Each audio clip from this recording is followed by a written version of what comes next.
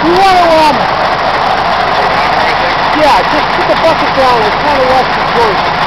And then just back it and forward.